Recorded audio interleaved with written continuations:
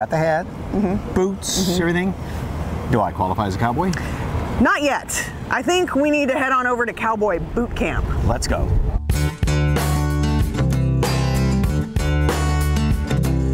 Well, the sign says, dress like you're in the Old West. Ma'am. Let's go there, ma'am. Well, of course, like we said, there's something for everybody out here at the rodeo, and you gotta be like a cowboy, and that's why we've got Cowboy Boot Camp, right? That's right. And joining us right now is Sarah Capellian with Cowboy Boot Camp here at the San Antonio Stock Show and Rodeo. This is where folks can learn some skills, right? Absolutely. It, some people think milk comes from the back of the grocery store, but in fact that's not the case. So we have a big cow that won't kick you. She is made of fiberglass, Ah. but you can milk her. You can also learn to saddle ponies, which also won't kick you, and they're very soft and fluffy.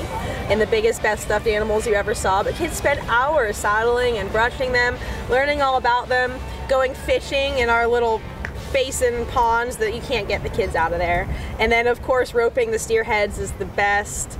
And uh, parents both love and hate this area, I think, it's the best babysitter you ever saw.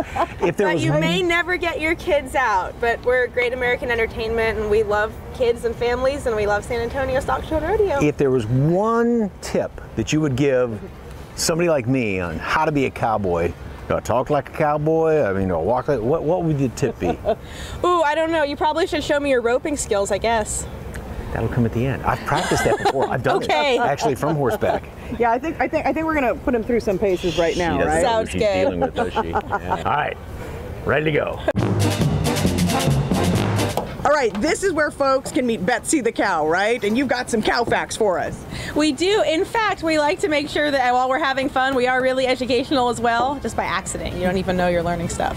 So not only are you learning that milk actually comes out of a cow, right? It's not out of the back of the grocery store. Cows can make an amazing amount of milk, about 10 gallons a day.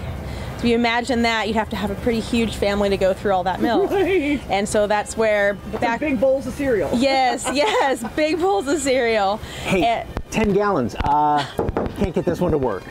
Hello, come on, come on, come on. You're You- making me look bad here. Okay, this is where folks can learn how to saddle a pony, right? Yes, yes, ma'am, it is. And Mike said he was a cowboy, so these are some really good cowboy skills to prove to us that he's got. All right. Is this shadow or midnight? That's Shadow. That's shadow. Mm-hmm. All right, ready? All right, here we go. So you gotta get that on there. And then Okay, right, you're gonna have to put on. that cinch on properly, or you're gonna have a great time when you get on that pony. So let's just All see if you have the skills it takes. Good horsey. Good horsey. Let me hold. Okay. Yeah. Yeah. Very good. Okay. Yeah. There we go. how's he doing so far? Okay. So far, so good, but we got to see if he knows how to get the cinch to actually strap onto the horse, because as you know, uh, it's pretty important. Otherwise, your saddle's going to end up underneath your horse, think and you go perhaps this you will as way. well. And then down here. It looks good. Okay. So far, so good. and then you come He over. might actually have done this before. Oh no, maybe not. Maybe he's never done this before. Maybe once or twice. That looks better. Is he making things up? No, that this is, looks okay. Think about how you would tie a tie, and then it's something like that. All right. All right. Oh, I think he may have done this once or twice before. He might be a cowboy after all. He did a good job. Yes. All right. You ready?